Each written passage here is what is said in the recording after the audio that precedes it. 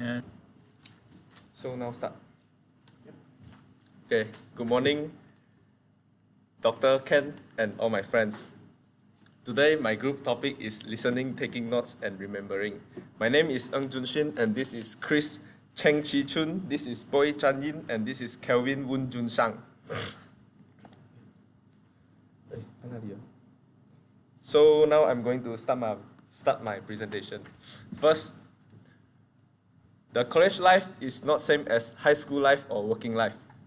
I think the college life is a sector for, for us to discover the new social structures, such as we can make more friends, make more different kind of friends, and make ourselves into a different environment. The college life is very freedom, very very freedom, and we can do whatever whatever we want, and we may be invigorated by a new freedom. These differences are important because they might change our behavior if we want to be a successful student.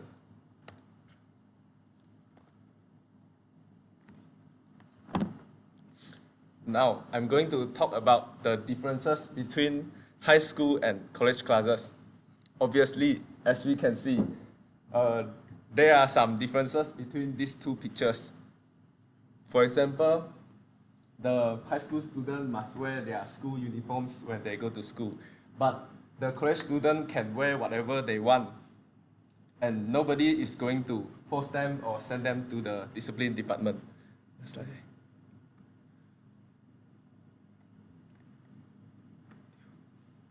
怎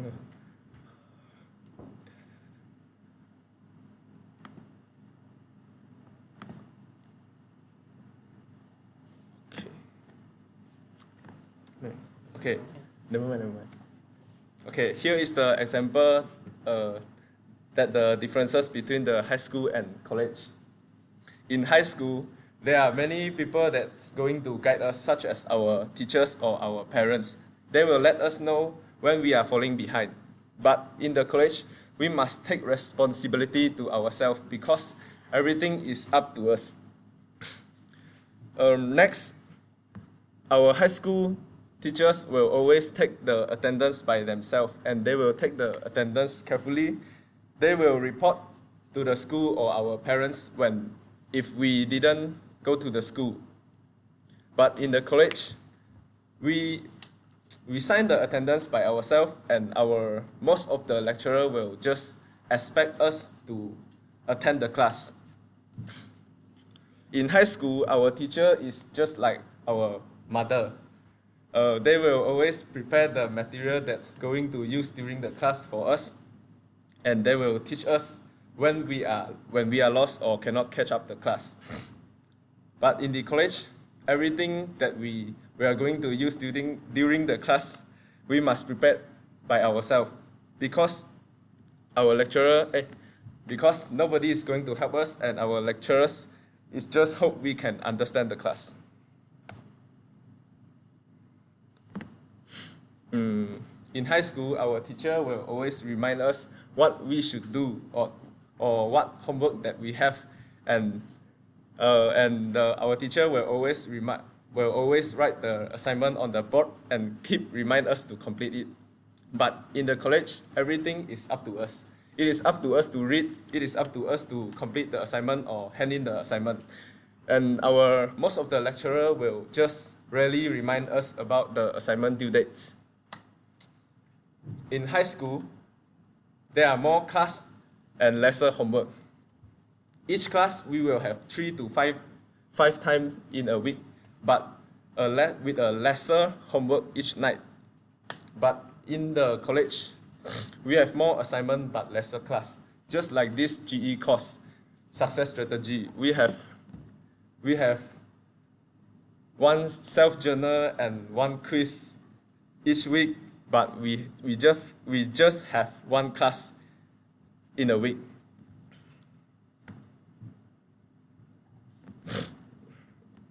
Our high school teacher uh, well are, are passionate everything about student. They were guiding their student and teaching them to learn. But our college college lecturer are more passionate about their subject more than their teaching. But we can learning by asking questions, seeking advice during office hour, and participating the class discussion. In high school, homeworks, assignment, and quizzes are contribute heavy to our grades. Each credit opportunities to give students a chance to make up for lapses along the way. In college, our grades are determined by one or two exam or long-term project such as presentation or group assignment. The, uh, the exam or presentation can just drag our grades down easily, so we must work on the assignment and complete the assignment as good as possible.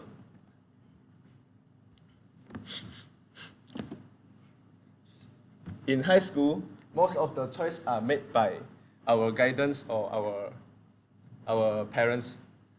And we were told what or when we should study, just like our teacher will tell us study early before the quiz. Mm, and we are followed by a predetermined curriculum, classes set by state or local officials. In high school, our parents or guidance have a major say in our elective choice, but in college, most of the choice is made by ourselves. We can choose the subject that we want to learn, just like our GE course, and because this is our education, not someone else. And I think this is the, this is some way to become a successful person because we can find our passion in our university. Now, setting yourself up for success. The main point is the most important point is identify the roles of listening and note taking in the learning circles. I, I believe most, most of us have some questions. It is how to study and how learning works. Most of the students have not learned how to study and don't understand how learning works. And this is the solution. So here is the solution, the circles of four steps. Preparing, absorbing, capturing, and reviewing. This four point is the main point of learnings. At first, we must review the, the things that lecturer going to say uh, during the class, and we must, then we must prepare the materials that, that we need to use during the class. And during class, we must absorb new ideas while listening, and we must record down the points by taking notes with taking notes and memorizing. Mm. Okay, so this is our group topic, listening, taking notes, and remembering. The listening skills is very important, I, and I think it is a key skills for learning new materials. If we have a good listening skills, we can make us be a better note takers and taking good notes can help us listen better. Taking good and taking good notes is also very important because it, uh, it is uh, important skills in the capturing phrase of the circles. Both of these listening skills and taking notes are, in, are the key study skills to help us do better in our classes. So this topic is, are you ready for classes? Are you ready for class? Mm, I think a good athlete, a uh, professional athlete won't, won't play a match without warming up. And just like a successful student, they won't attend a class without preparing for it. All we need is to get ourselves in the right frame of mind. This does not take a lot of time, but it will increase your ability to listen and take good notes. Here is an example. A successful, a successful student will always ask themselves some questions. They will ask themselves, what do I want to get from the class? What is the main idea that the class cover and how will the how will today class help us do better in the course?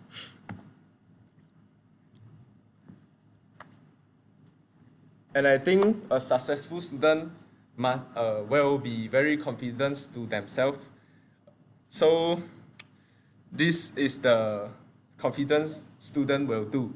They will complete the assignment that the instructor give in the last class and they will think about how today material will tie into what you have already learned. And they will review the course syllabus to see what the instructor accept, expect the, to cover in the class.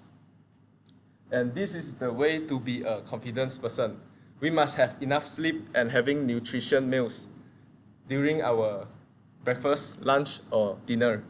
Because it is hard to focus while we are hungry, and we must prepare all the material that we need for class, such as paper, pens, laptop, and textbooks. The most, the lastly, lastly, we must clear away all other distraction before the instructor start the class.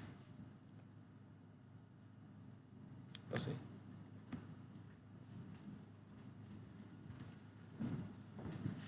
Good afternoon, everyone. I'm Chris. Now I want to talk about how are you ready for listening? Mm, as we know, listening is very important for the class environment and the job. Uh, for example, if your boss uh, want you to want you to do something, if you are not listen carefully what he want you to do, uh, I think you will have to con continue. In here, I will, I will give you some suggestions about how to ask a good question and how apply strategy that make listening.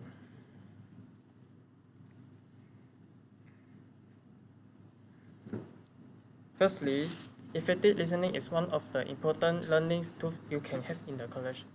As we know, in the college, we must listening to the lecturer if uh, in the class there, um, some of them will just uh, uh, just say the point they will not write down and they are not write it on the slide, so we must listen carefully to them.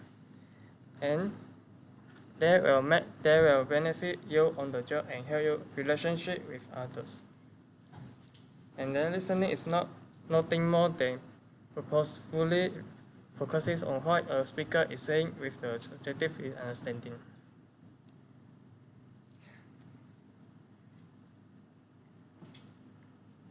In here, I would like to share uh, the principles of active listening.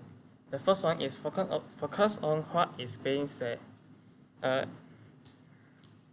uh, you, just you need to focus on what is the lecturer is being to say. Um, because uh, if you want the listener, uh, lecturer repeat the question or the subject to you, I think it's impossible. It, uh, and then you need to clear your mind or anything else if you um, if you are not, uh, for example, if the lecturer is talking and you thinking about other things, for example, uh, if the lecturer is talking about chicken, then you think about the KFC, yeah, you are not able to learn anything in the class. The next one is repeat what you just heard. Um, just make sure what you just heard and, and how to remember, remember it as well as possible.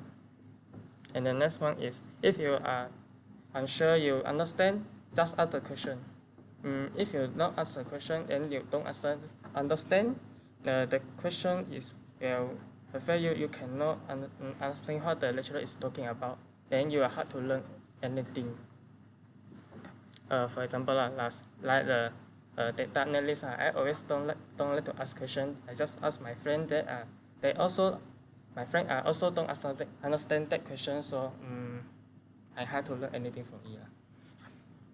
And the next one is look for November uh, singer as well as the word used. Confirm this body language message just as you will ever message uh, saying. Uh, some of the lecturer, I think they, um, they have a lot of the body language. Um, um, uh, they will sometimes we look at their body language and listening what is they said, uh, they will uh, just easily, we can easily to remember what is just easy to remembering. And the next one is a speaker will often hide a request as a statement of a problem. Some, sometimes uh, the somebody will just, um, they will not telling they have a problem. They use a different way to tell you. For example, like my friend, they, he tell me he don't like maths uh, I think I know he I, he want to I he want I tell you to solve the eh, just help he want I teach the math to you lah, but I also don't know how to do it. Nice. next.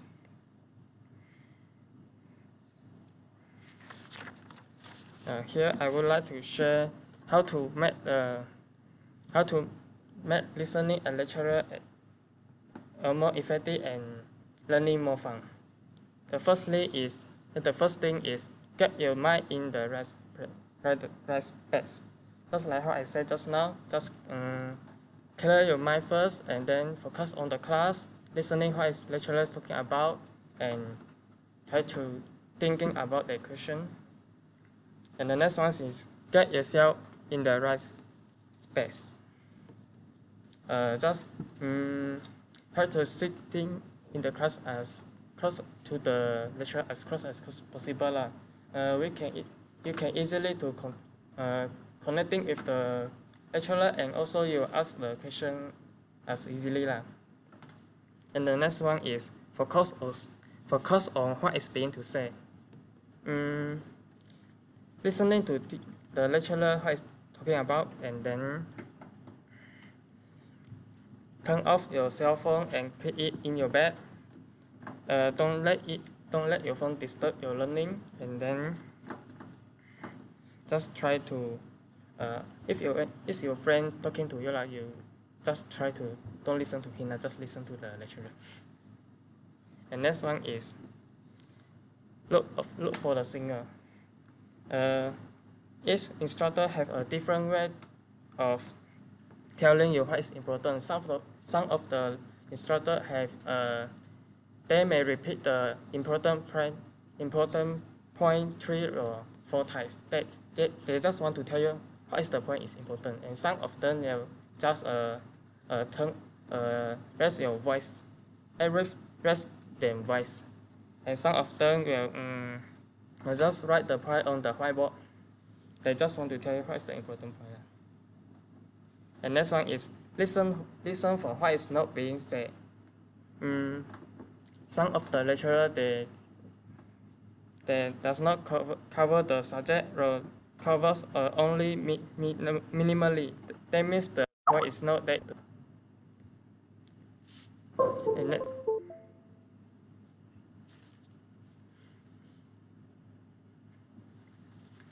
Next one is sort the information.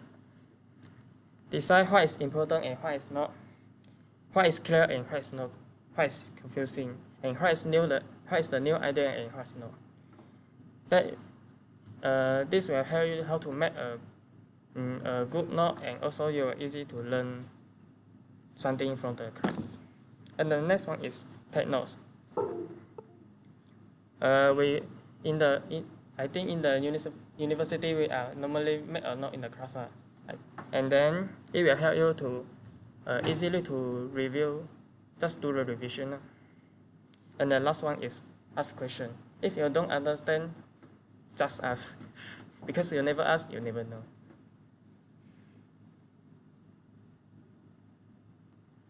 And the next one is dealing with special listening challenge. Mm, I would like to show you what to do if you cannot hear carefully, eh, hear clearly to the lecturer. Uh, if your instructor speak not speak too fast, uh, I think you just crack out with your preparation, just try to understand what is the subject about and then try to you, you might also try to in, visit the instructor during the uh, after the class uh, and then also you can ask the lecturer try to speak slowly uh, you need to ask possible okay and the next one, if your instructor have a heavy a sense, uh, I think in this situation you just can uh, as, sit as close to the instructor as possible lah. Because you need to hear very, you need to listening very clearly and try to learn something from it. And if you really hard to listening what is teacher is talking about, you you also can try to visit in the in after the class. And next one is if your instructor speaks slow, slow, softly or mumbles, uh, also sit close to the uh, instructor as possible and try to make uh, eye contact. Uh, you sometimes you okay, if you have a problem, just ask. Uh, just like how I say just now.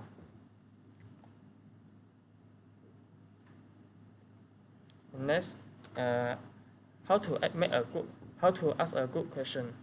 Mm, I, I, what I said just now, if you have a question, just ask. But after, before we ask the question, we need to think how to make, how to I make a good question. Don't make, just don't make a, a question very, uh, nothing to, nothing to answer.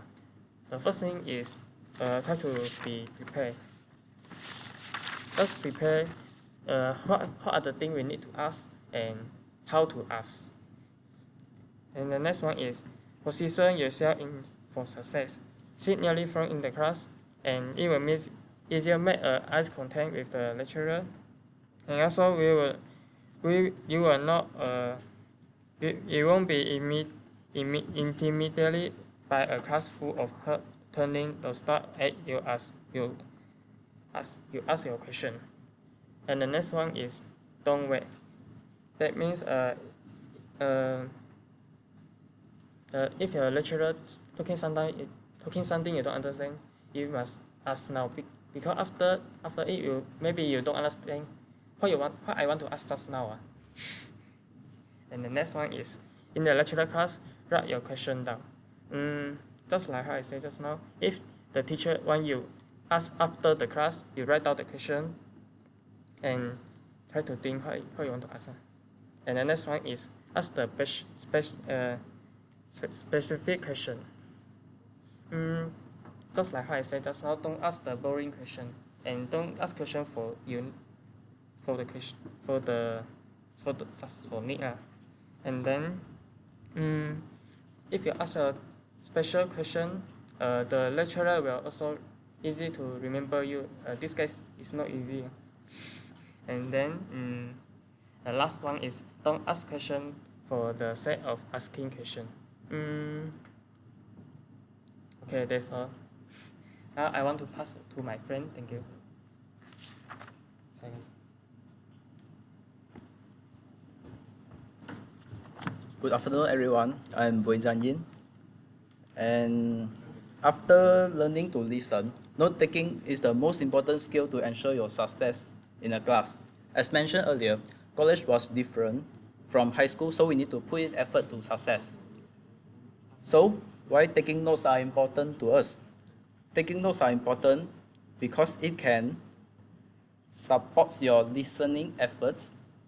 Next, it can allows you to test your understanding of the material then helps you remember the material better when you write key ideas down and give you a sense of what the instructor thinks is important and creates your ultimate study guide. After knowing how important is taking notes, now I want to talk about four primary methods of taking notes.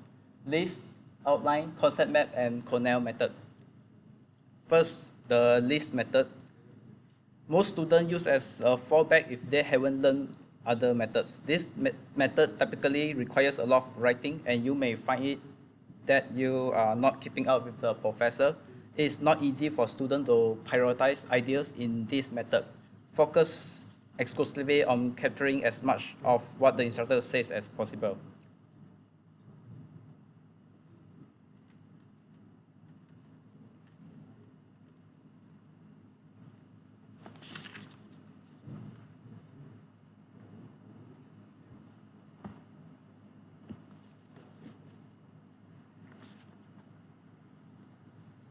And the second method is outline method.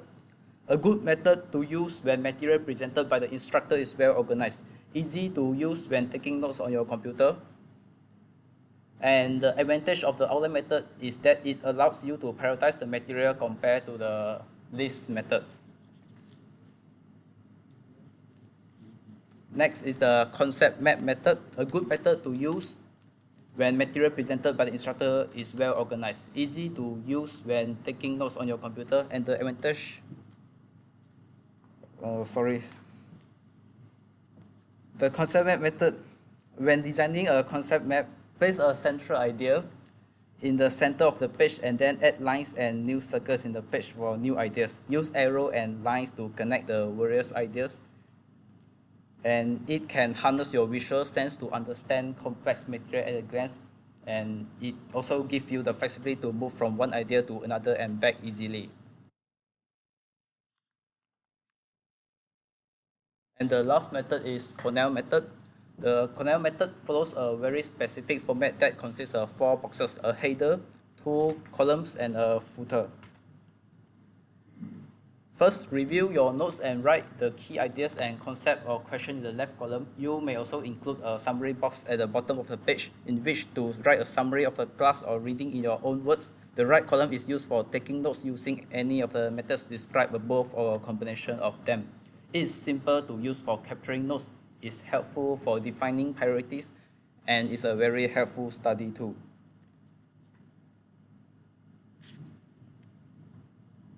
So after introduce four methods for taking notes, I believe that you all have an idea of these four methods and knew which suitable for you most.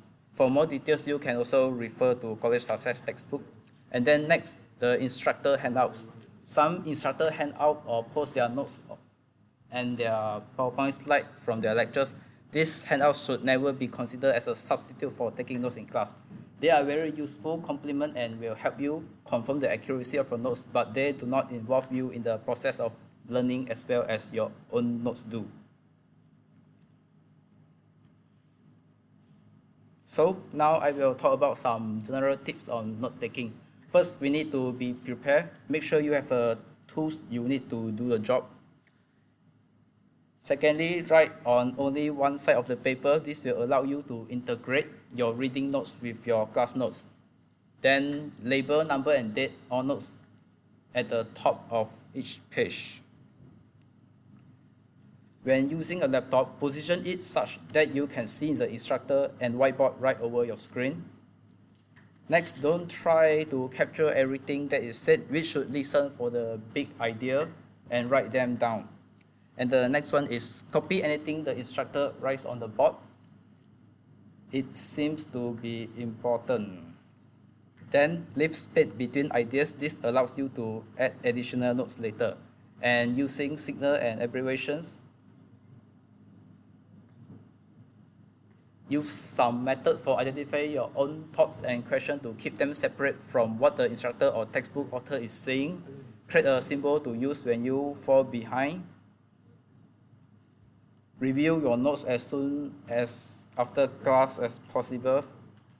And lastly, write a summary of the main ideas of the class in your own words. And what if you miss a class? This is a common thing in college because some of us may sleep very late and or taking a nap and miss a class. Therefore, these are few ways for this situation. First, you can check with the instructor to see if there is another section of the class you can attend. If the instructor posts his or her lectures as a podcast, listen to the lecture online and take notes. If the instructor uses PowerPoint slides, request a copy or download them and review them carefully, jotting down your own notes and questions. And lastly, review your notes with a classmate who did attend and borrow class notes from a classmate and don't just copy them and insert them in your notebook. This will not be very helpful. When you borrow notes from a classmate, you should photocopy them and then review them carefully and mark your copy with your own notes and questions. Use your textbook to try to fill in the gaps. And last, use the course syllabus to determine what was covered in the class. Then write a short paper on the material using the class readings and reliable online sources. For keeping notes, first we can start by organizing your notes, group all notes from a class or unit together in a section. This includes class notes, reading notes, and instructor handouts. And next, we need to spend some time linking the information across the various notes and link the related information in other notes. And lastly, write notes on your notes. Review your summary to see if it still is valid in light of your notes on the reading and any handout you may have added to your notes package. Lastly, you may want to keep your notes that can help you in the future like some following cases. If the course you took is a prerequisite for another course, or when the course is part of standard progression of courses that build upon each other. This is a very common in maths and science course. You should keep them as a reference and review for the follow-up course. And second, if you are very interested in the course subject and would like to get into the material through a more advanced course, independent study, or even research, you can also keep your notes. And lastly, if the course you took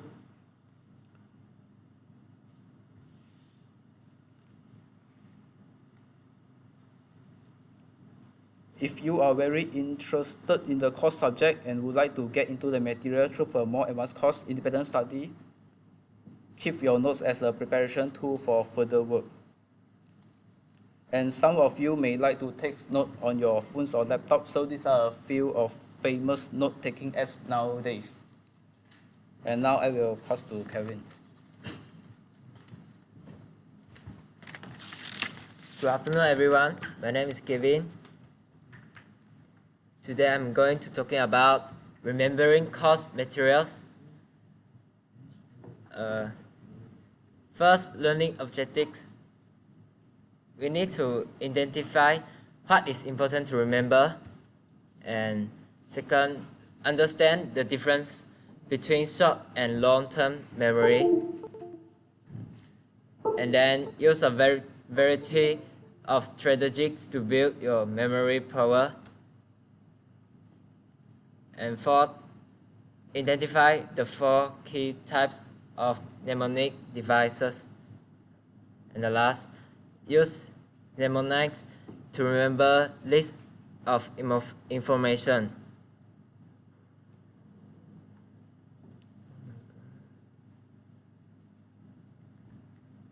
The role of memorization in learning is very important.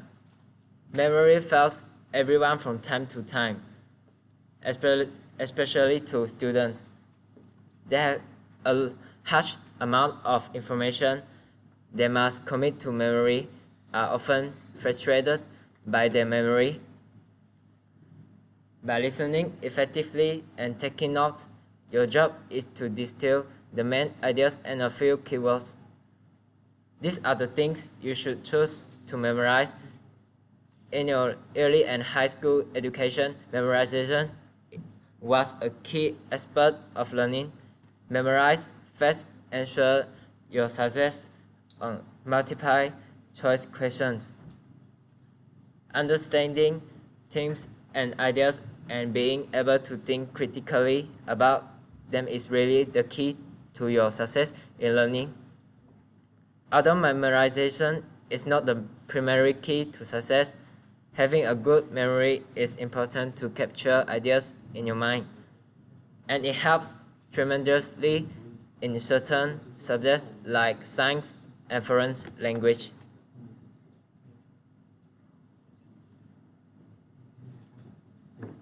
And how memory works. Make a deliberate decision to remember the specific data and link the information to your everyday life. Ask yourself, why is it important that I remember this material and answer it? Then link the information to other information you already have stored and mentally group similar individual items into buckets. By doing this, you are creating lines, links, for example, among terms to be memorized. And use visual imagery vividly in your mind. Then use the information. Then break information down into manageable chunks. Work from general information to the specified specific sorry. Eliminate distractions and repeat, repeat, repeat. The more you use or repeat the information, the stronger the links to it, the more sense you use to process the information, the stronger the memorization. And Memory this is a test. Test your memory often, therefore you can remember it. The last location, location, location. There's often a strong connection between information and the place where you first received that information. Next, I'm um, using mnemonics. Mnemonics are tricks for memorizing lists and data. They create artificial but strong links to the data, making recall easier. The most commonly used mnemonic devices are acronyms, acrostics, remnants, and jingles. Jingles are phrases set to music so that the music helps trigger your memory. Jingles are more commonly used by advertisers to get you remember their product and product features. Anytime you add random to the terms you want to memorize, you are activating your auditory sense and the more senses you use for memorization, the stronger the links to the data you are creating in your mind.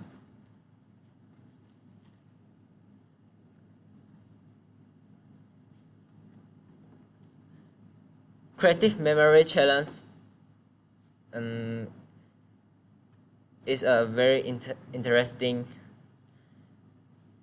create an acrostic to remember the noble gases helium, neon, argon, krypton, xenon, and the radioactive radon.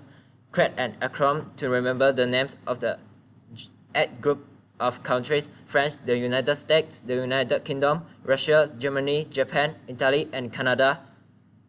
Mnemonics are group memory aids, but they aren't perfect. They take a lot of effort to develop, and they also take terms out of context because they don't focus on the meaning of the words. Since they lack meaning, they can also be easy forgotten later on, although you may remember them through the course.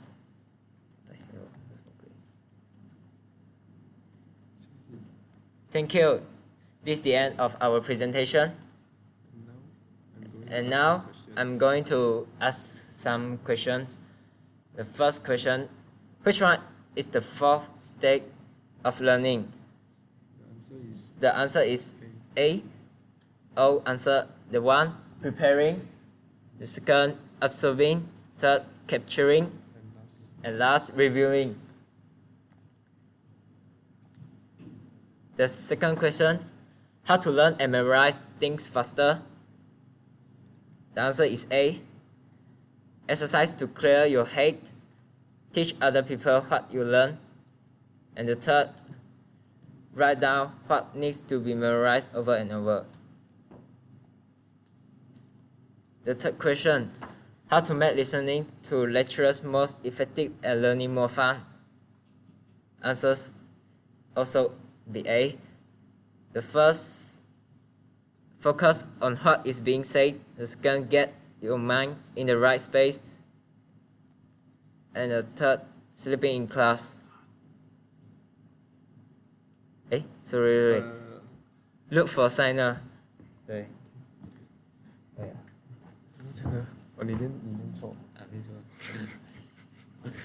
so, so now is the the fourth questions.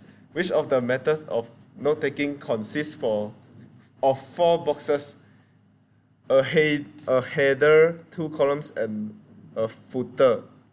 The answer is A. The Cornell method.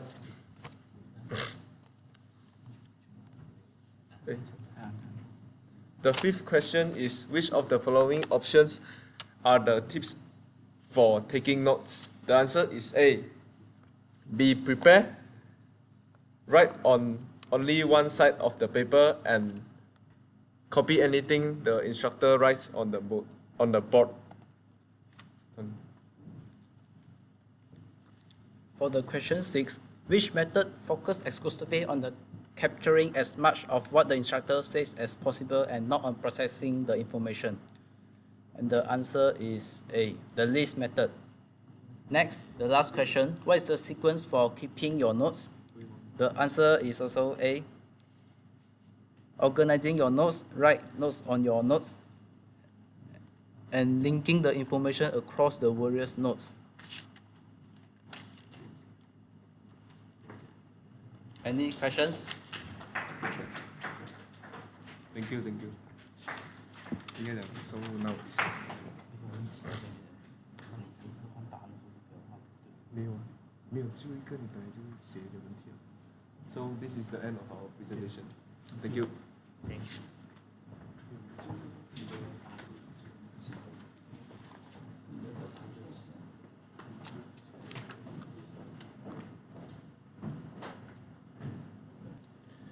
Uh, Just a few comments on the uh, student presentation today. Um, One of the things I kind of covered, um, uh, by the way, I would, I would urge all groups to look at the material very carefully and, and again, try to figure out exactly what's most important you're going to present and emphasize that better. Um, If you try to cover too much, uh, then you cover nothing really well. And, and so cover less stuff and, and make more slides, make more illustration, more examples, explain it better. Um, That's, again, my, my emphasis on it. Um, And so actually, in a way, I'm saying do less work. Uh, Just, uh, again, maybe that's a little bit facetious, because to do it better uh, may take just as much work. But uh, just uh, try to, try to maybe cover a little bit less and, and cover it. For example, if you have, uh, you know, several uh, uh, types of note-taking, maybe cover some of them less because they're so common, and spend a little more time on the one that is considered the best, and maybe teach that to us since we don't know it, maybe yet, that sort of thing. So just uh, try to figure out what's most important, what people should benefit from the most, and try to emphasize that. Um, Anyway, uh, more specifically, things I wanted to uh, uh, mention, I actually use the least effective method of note-taking, which is probably good because I became a journalist, and a journalist has to take as good a notes, as, as specific a notes as possible. And so my, my classroom note-taking mirrored my journalistic note-taking. Um, In journalism, we, we basically teach people to listen and, and try to figure out what's most important because they can't take, uh, they don't, uh, um, they don't have time to take down everything, that's true. Um, So they have to figure out what's most important, and so they're doing some editing even at the time that they're doing their listening. What is it that's really important, and write that down. Uh, But another aspect to it is, uh, I, I teach my journalism students to also take time after they're done taking their notes to go through and try to remember the things they didn't take notes on, uh, that they didn't have time to take notes on and still what they have on their, on their paper, maybe they wrote down one or two words, but they didn't really explain it very well. But if they sit down as soon as possible after their class, they can fill in some more information. And uh, so I know that there's one uh, reporter from the New York Times who I interviewed who has won a lot of prizes and stuff, and he's actually put people in jail, in prison, with his reporting. Um, and because of the type of reporting he does uh, with people that you know, don't want to tell the truth. Uh, he has certain specific things that he does, and, and I won't go through all of his methods since that's not, uh, we're not, you're not journalism students. But one of the things he does is he does not take notes at all. Uh, he, he just tries to remember everything, the most important stuff, uh, because he's thinking if he's trying to get somebody to confess, basically, confess to a crime, that they're not going to confess very, very, uh, very much if they're, if he's taking notes in front of them, uh, or if he has a tape recorder in front of them. They're not going to confess anything. Now, actually, I found that I have had people confess stuff to me uh, on a, with a tape recorder running. So I think he's somewhat wrong sometimes. Uh, but nonetheless, forgetting about whether he's right or wrong with the method, he does exactly what I was just saying. He, do, he, he takes, in his case, he takes no notes, but as soon as he leaves the interview, he finds a quiet place uh, in the stairwell or wherever he can find, and he spends uh, 30 minutes writing down everything he can remember. Um, now, like I said, I don't, even in my journalistic work, I do not do, try to do what he does. And I found that actually criminals are quite stupid, uh, that they will sometimes uh, say stuff that they regret later, even with the tape recorder running, with the audio recorder running. Uh, I've gotten two mayors kicked out of office because they said stuff they shouldn't have said, and I had an audio recorder running for them. And another, another gal, another politician, uh, likewise tried to deny what she, what she told me, and I had the recording of her. Um, Other people who have also, you know, done unethical or criminal activities, I have on video recorder, or an audio recorder, I mean.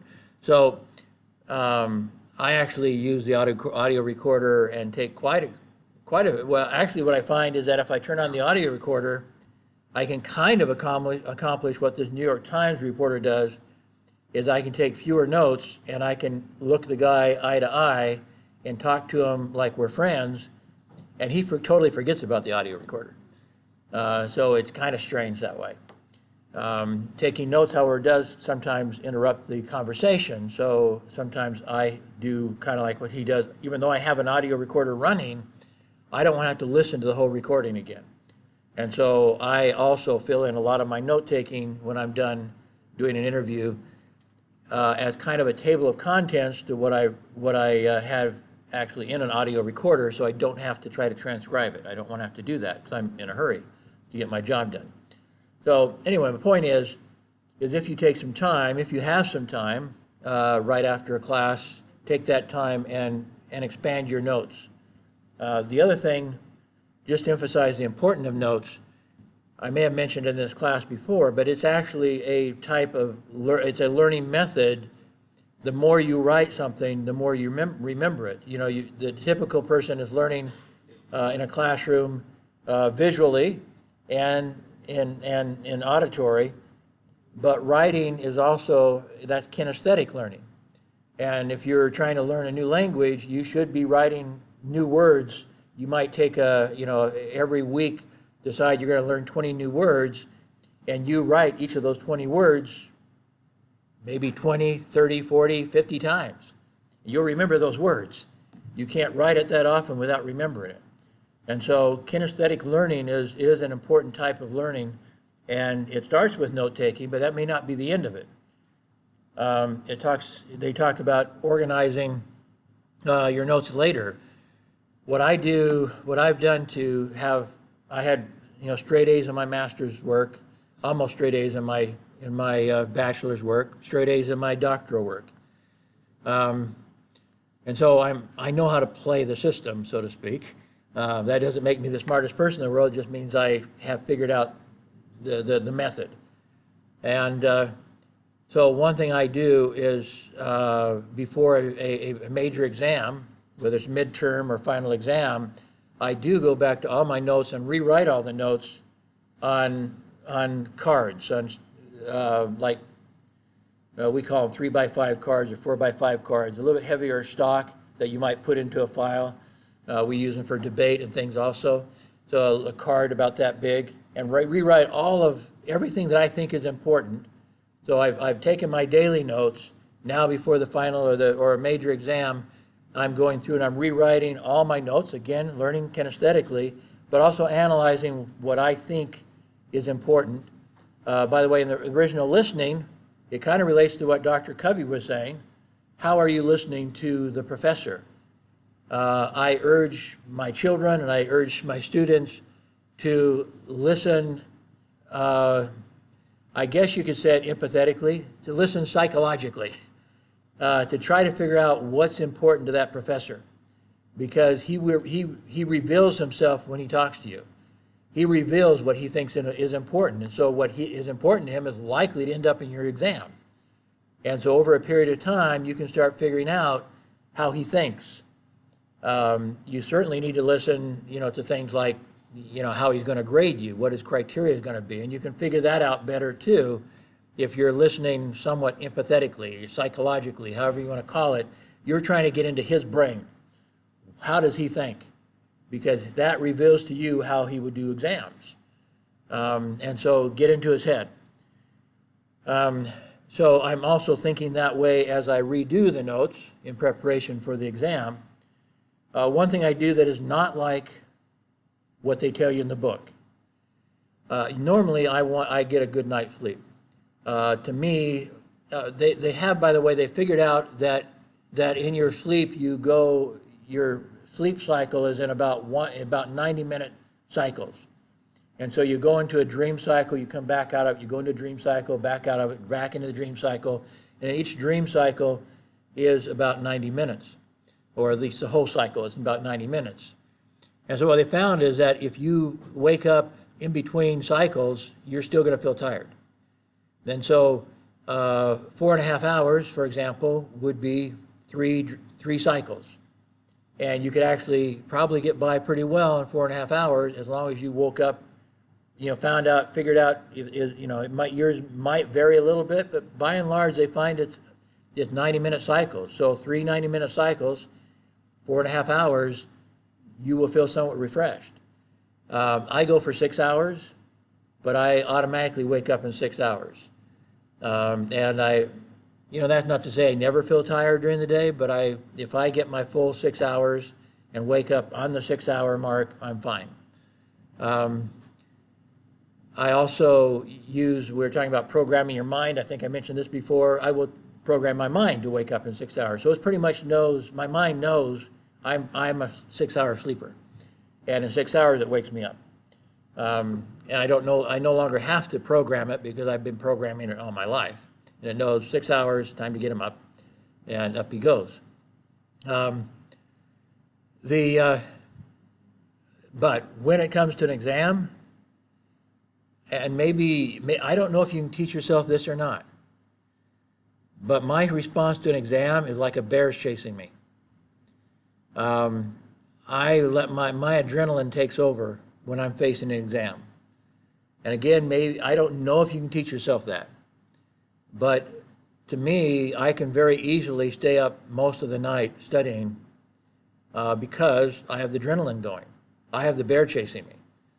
And so if I have a major exam um, and it's not going to hurt my other stuff, yeah, I'll stay up essentially all night studying, rewriting my notes, reviewing my notes. And uh, again, a reason why I'm putting them on three by five cards or, you know, some, some, some way of, of that I can take a look at them, look at them over and over again. Um, in my master's program, everybody told me that the hardest class was the research class. And so I considered it a big bear. I was scared of that bear catching me. Um, I, I felt strongly that I needed to do well in my classes, and I had been out in the real world for a few years. I'd been away from academia.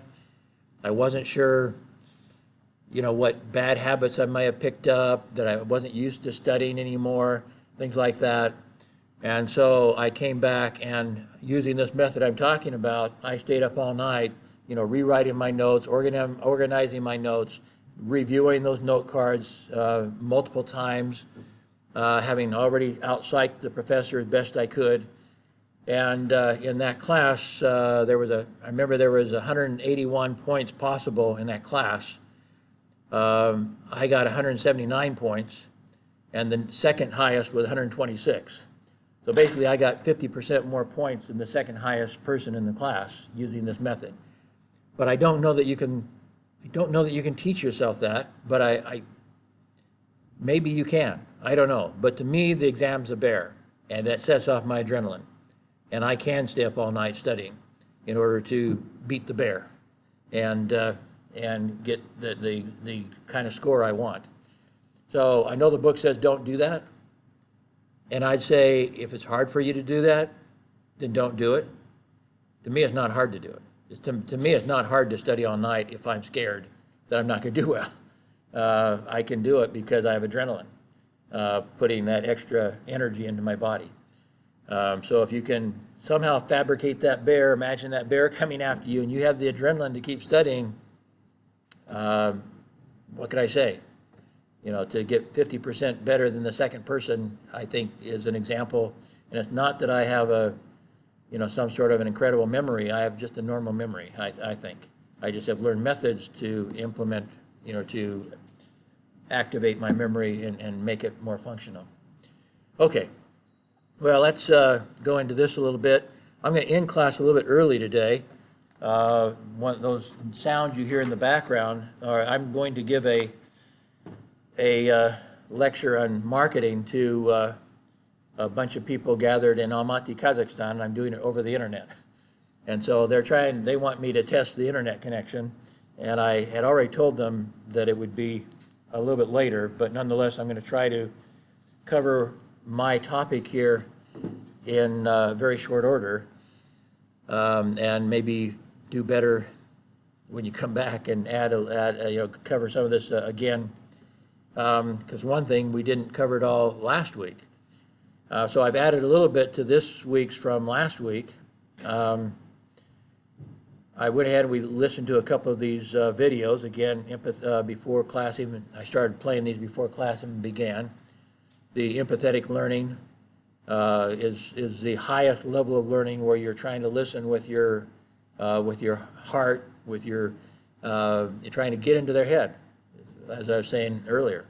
So you're trying to understand them. That is your first priority, to truly understand them, not just uh, you know, make them happy, not be thinking how you're going to respond to them all the time. Oh, I'm going to be smart. I'm going to respond this way. That's not really trying to understand them if you're thinking about how you're going to sound smart when they're done talking. Uh, that's looking at it totally from your perspective. Uh, he talked about one way of doing that was with the, he had talked about his uh, Indian stick or whatever you called that, where the, the point was that you can't uh, that you, somebody else has the stick, and he said you can use a spoon or a straw or anything, it doesn't matter. But in this case, that a, uh, an Indian tribe gave him this stick, and the idea was that whoever has the stick does not give up the stick until he feels understood.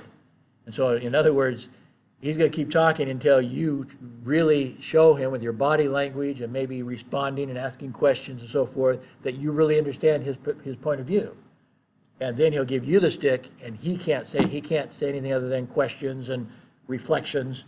He can't give his own opinion until you're done and you feel understood.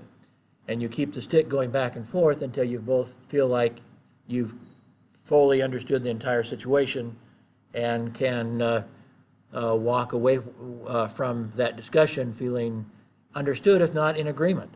It doesn't necessarily mean you're going to be in agreement. Um, And in fact, as Dr. Covey talks about this idea of win-win, again, these ideas merge. Uh, First off, the idea of uh, win-win, and the second idea I mentioned last week of uh, seek first to understand, then to be understood, are so merged together that it's hard to separate them. Uh, They are separate principles, but they're totally, in- you know, uh, intertwined. Uh, Because you can't come up to a win-win situation unless you are a- an empathetic learner, uh, an empathetic listener until, until it is your priority to truly understand the other side. If you're not trying to understand the other side, then it's going to be much harder for you to come up with a win-win situation. You have to seek, you have to understand before you can be understood. Uh, So that becomes a key, those two principles become very much intermeshed uh, together. The, uh, and so there's some additional videos for you all to listen to uh, on this subject. I'm not going to listen to them in class, we don't have time today. Um, And um, I don't think I have that many assigned for, uh, for this. Your, your uh, quiz, by the way, will be the Wednesday after you come back, so uh, you'll have some time uh, to listen to the video, to the videos and, and uh, the Indian talking stick, they call it. Um, Okay, so I'm going to, I think, because of the limited time we have, I, I think we covered win-win adequately. If I do feel like we need to cover it a little more, I'll cover it when you come back and, and try to pick it up there. Um, But I, I think we understand it well enough that I, I want to go on and spend this few minutes uh, about, um, about this idea of seek first understand and cover that a little better. Um, He kind of reflected it with, with the- one of his examples where he's talking to a father, and the father said, I don't understand my son, he won't listen to me. I mean, that's obviously a total contradiction. Uh, If you don't understand your son, you need to listen to him. one of the things that Dr. Covey mentions, and he did mention it in the video we were listening to as we started class, is that truly listening to somebody is a very disarming function. It makes them feel uh, a, a social acceptance uh, that you are that you care enough about them to understand that it's a very uh, what's the right word? Um, well, it just it makes them feel accepted, makes them feel like like uh, you are friends. Um, and so in so doing, like I said, actually as a journalist, we we have to pretend that way, even if we know we're going to try to put somebody. I mean, we we we understand somebody's going to go to prison in this thing, or something major is going to happen to them. So you can pretend, uh, but in a sense, you're not really pretending because you are really trying to listen to understand. And that is such an enabling factor that in some cases, these politicians and stuff will say stuff they should absolutely not say because they, they want you to understand them. And so they're telling you stuff. You need a lawyer, friend. You, know, you, you should not be telling me this stuff because your job as a journalist is to report it. And so they somehow, the very fact that you're listening to them intently and, and empath- empathetically actually is their undoing. Because just because you're listening to them empathetically as a journalist doesn't mean you're going to be their friend because you have a job. But put yourself in a business situation where you're not, your job is not to tell the truth. Uh, now this, this uh, listening empathetically is very empowering. I guess that's the word I was looking for a second ago. Very empowering. Uh, and so if you take the time, as you if you sit down in negotiations, and you take the time to really understand where they're coming from, two things happen. First off, they start trusting you. They start feeling like that if you're really willing to understand them, you're somebody that they can work with. Um, and and secondly, once you've done that, you actually don't need a talking stick. It is very natural thing that once they feel understood, it is very natural for them to then want to understand.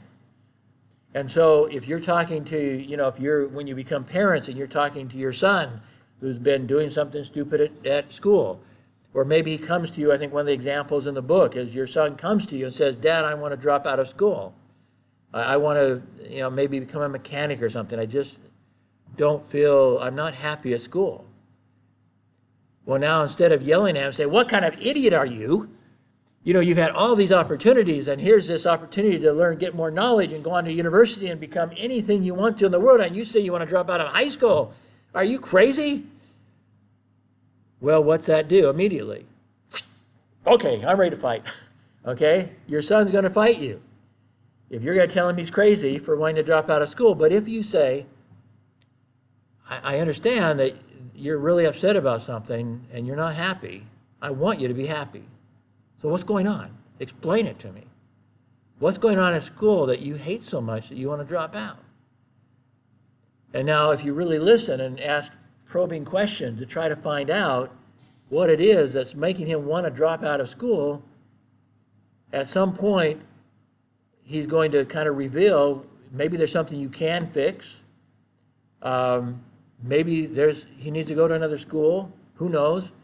But at some point, once he feels understood, it's a very natural thing for that son then to say, at some point when he feels totally understood, what do you think, Dad?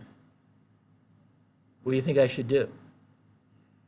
And now he's ready to listen and let you to be understood. And that's true in a business situation as well. That when they feel understood, they actually want to know. They want to understand you because now that you've empowered them, they actually want to empower you. And so you rarely, you really, most frequently do not need a talking stick to do this.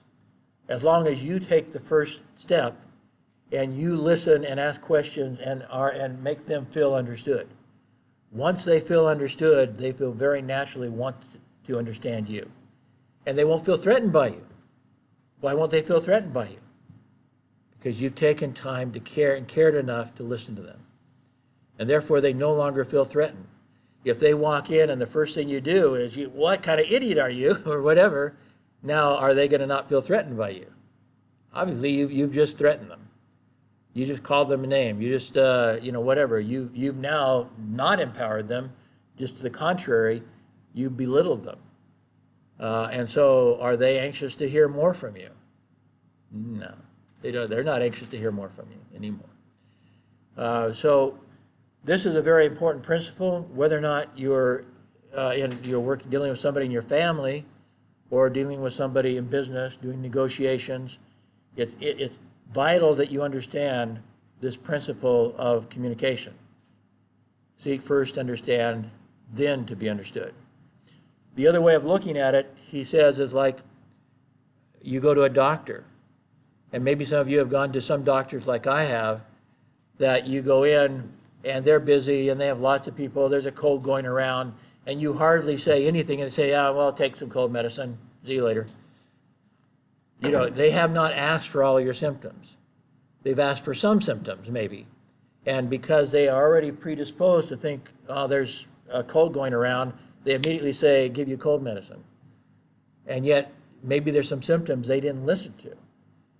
Um, and, and so you feel like you've been cheated. You've been sitting in the waiting room waiting for the doctor for hours, for an hour, and they, they talk to you for about five minutes and walk out the room and, you know, tell you what to do. Um, I happen to have a doctor in America that sits down and he has all of his rooms, uh, his patient rooms are all uh, uh, tied to the uh, one network. And so he comes in with his laptop. And he says, okay, let me review where we were last time, Ken. And he starts asking me questions. He's typing away. And he'll spend at least 30 minutes updating his notes right then and there with his laptop. Now, one thing that does is that means he doesn't stay at night filling out his reports because he's filling them out right then with you. And he's asking you is, okay, do I understand, you know, how you're feeling? You, is there anything else you need, need to tell me? And so after half an hour of him taking notes, I feel like he well understands me. Um, and so I've had this same doctor for 30 years. So it's not him that I'm concerned about, it's other doctors when I go someplace else, because this doctor understands me. He has a computer filled with my information, and he updates it very thoroughly every time I see him. Um, and so, do I trust him? Absolutely. I when he when he said, "Okay, this is what I think you need to do, Ken," because I've been understood, um, I I'm listening to his you know his diagnosis and his prescription uh, because he's he's understood me. He's taken the time to understand me, and so we can do similarly, whether it's in our family.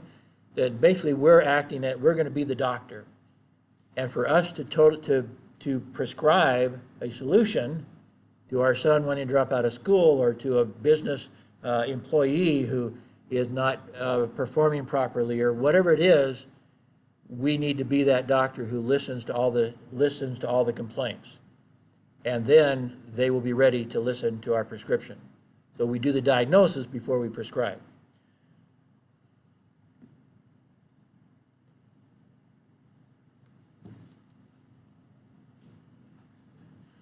So that's really the key to it. Now, there's ways of applying it in the real world. There's a, a program in selling high-value products.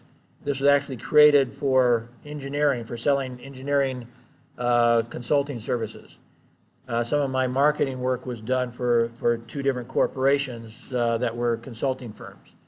And so this was a, a method that uh, was developed specifically for that. So some of our jobs were you know, to get a new client might be worth a million dollars eventually. Uh, if, they- especially if it's like, like a school, a school district that built, um, a new school every few years.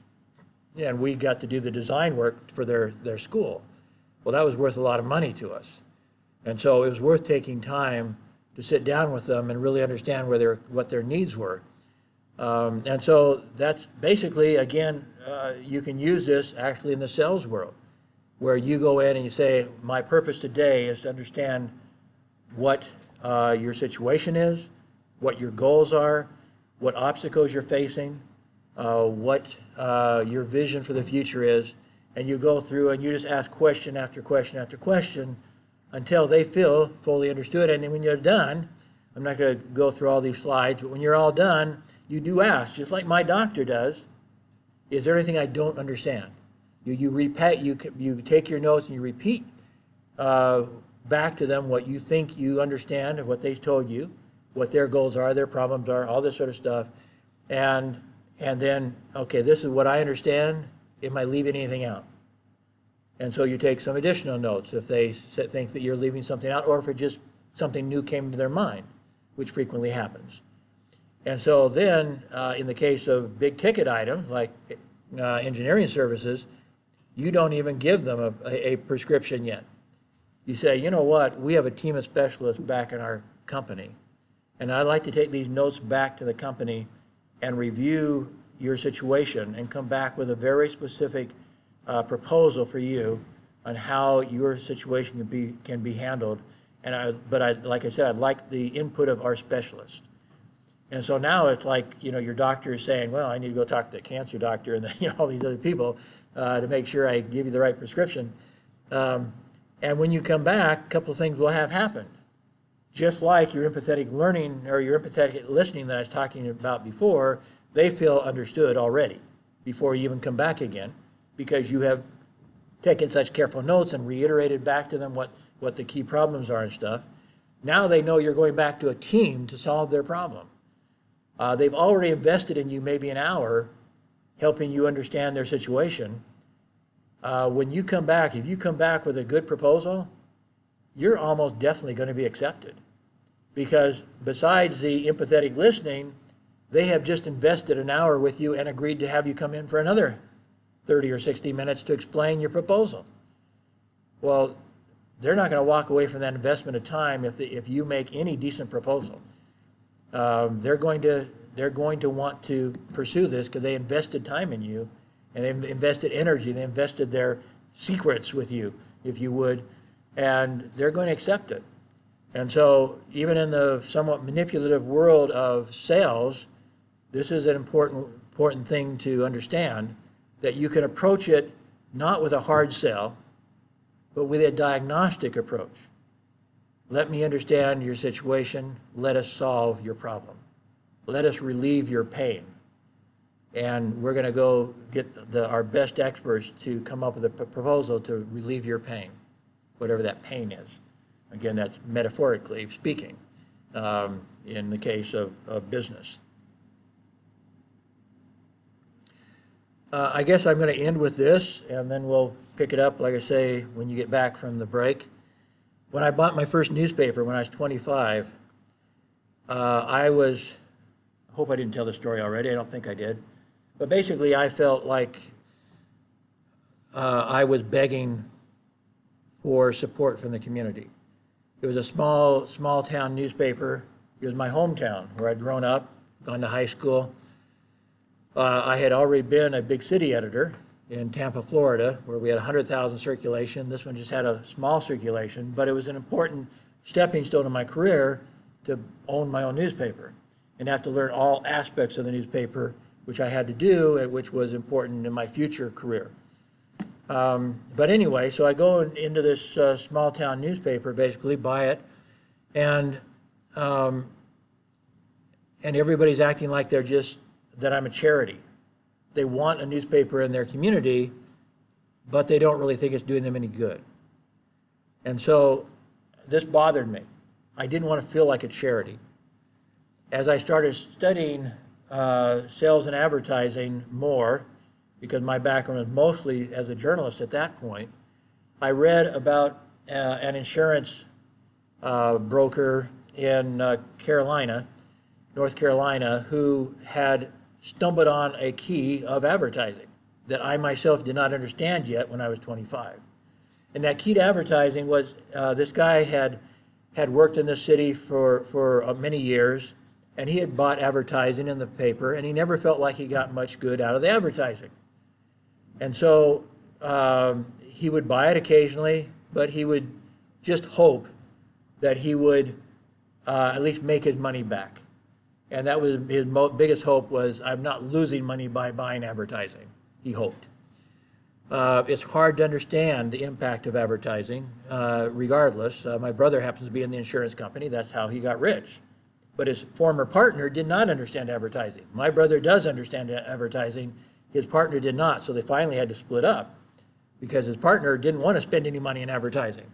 And my brother knew that even though he couldn't decide always which was the best advertising medium he used, he knew that it was doing something.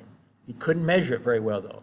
But anyway, uh, going back to my story, this insurance guy in, in Carolina uh, decided he was going to try to expand his business by selling over the over the mail and telephone, and that he was going to get a national mailing list for a specific product he, that he thought was a good product. And so he ordered from a national company a mailing list. Um, this was before email, so it wasn't an email list; it was a real mailing list. Um, and and then he printed up a flyer that he was going to send out to everybody on this email list or on this mail list, excuse me, postal mail list. And so he uh, he went ahead and went to the newspaper and asked if they could print up the flyer, and they said yes, they would. So they printed up for him, uh, uh, if I remember right, is forty thousand flyers. Um, and then uh, um, he didn't receive his his uh, his mailing list. And so about that, after they were printed, the publisher called him up and said, look at it, we've got 40,000 flyers here. We can't keep them here. We don't have enough room to keep your stuff here. You need to come pick it up. And the insurance man said, well, I don't have any room either. He said, I'll tell you what, they, after they went back and forth a little bit, he finally said, look it, I will, let, let's put 20,000 in your newspaper. That's your circulation. Put 20,000 of the 40,000 in your newspaper I know I'm not going to make any money from it. I don't get that good a response, but just do it. And, and hopefully I'll get my mailing labels. And next week I'll pick yours up and mail them out to my mailing list. Well, he mailed out the first flyer, and just like he thought, he got a few phone calls, and at best, he kind of paid for the cost of, of sending out those flyers. Uh, but, you know, he didn't have much results just like before, all those years he'd been putting out, you know, he had been advertising off and on, not much results. And so another week went by. Apparently, this was a weekly newspaper. And so the publisher called him up again and said, Look it, you need to come, it's been another week, you need to come pick up these, uh, these flyers. And he still didn't have mailing labels. And so he's, he's, he was exasperated. He said, Okay, I don't know what to tell you. I don't have room for them just put these 20,000 in your newspaper again, same flyer, same people, same newspaper.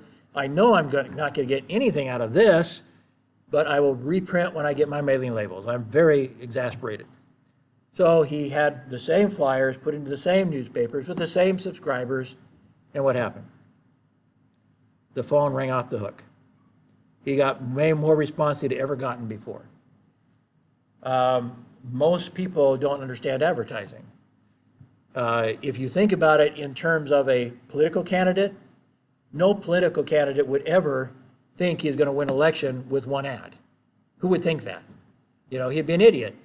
And yet businesses think they can do that. They think that they're going to get a, this massive response with one ad when political candidates know they can't. And so what do we call it when a political candidate sets up a, a full campaign, right? We call it a campaign. The key to advertising success is a campaign.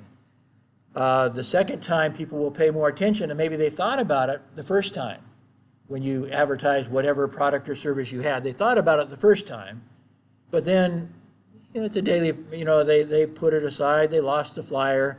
Um, and then the second time they got the same flyer, now there's several things that happened. One is it reminds them, oh, yeah, I was thinking about maybe I should call them. And so now it's fresh in their mind, and they say, well, I lost the last flyer, better call them now, uh, or I'll lose this flyer too. Um, and that also gives them a sense of more credibility. Now they've seen your flyer, your ad more than once, and so they're thinking, well, they're still advertising, still in business, so I guess they must be doing okay. Uh, we can trust them, I guess. So the more they see it, the more trust they have that it's legitimate. And so in this case, the insurance man made lots of money once he understood how to campaign. Once I understood how to campaign, I totally changed the nature of my advertising. And this is what I started offering. I, they'd been paying me, the typical small-town advertiser was typically buying like a one-eighth page ad.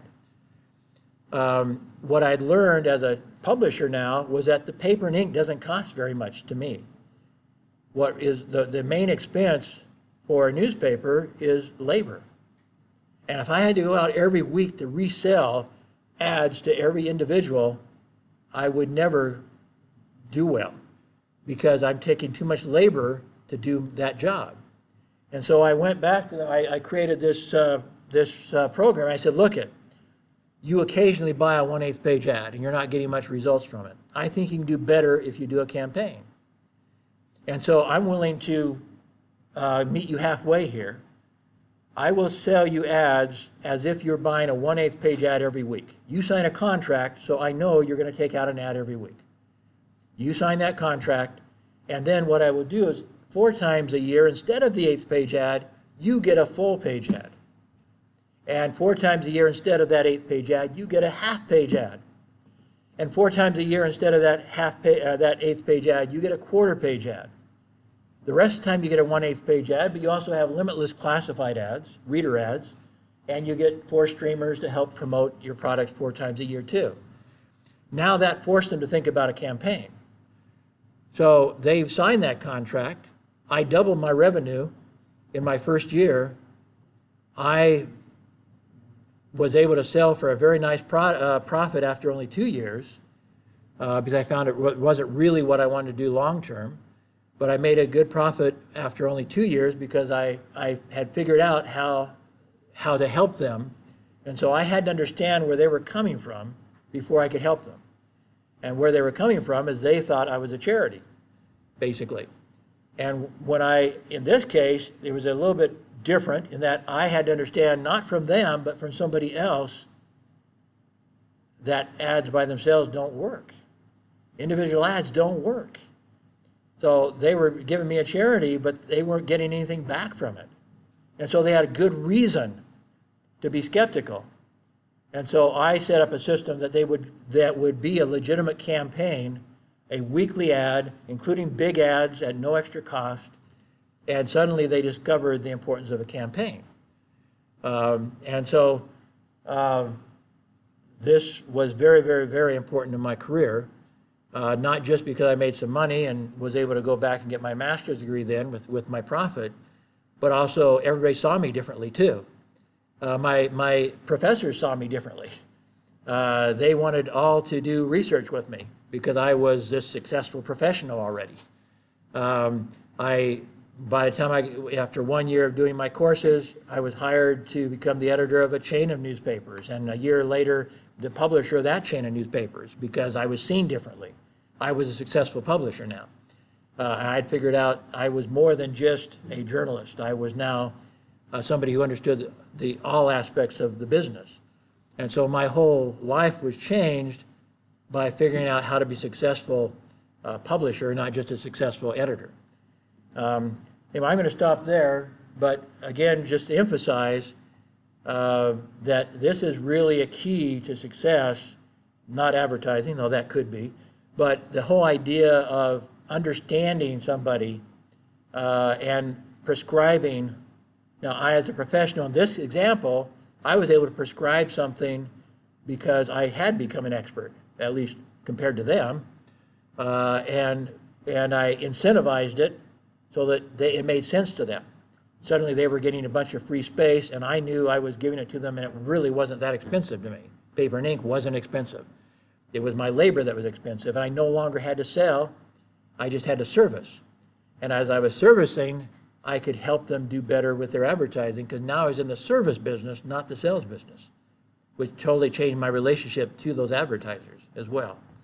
So, anyway, uh, thank you, and uh, we will call it quits for the day so I can get ready for this uh, 90 minute workshop over the internet. And uh, have a good break, come back energized and ready to go. Okay, thank you.